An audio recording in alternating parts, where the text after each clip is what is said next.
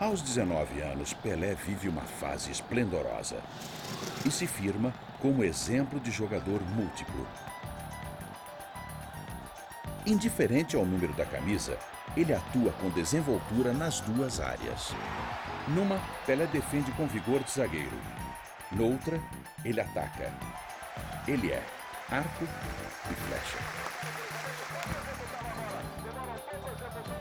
A sua privilegiada visão de artilheiro o transforma num emérito criador de jogadas. Suas constantes movimentações confundem os adversários.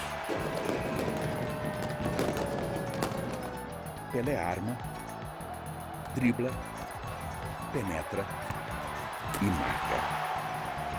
Certamente, Pelé e a bola nasceram um para o outro e vivem no campo um pacto de amor eterno.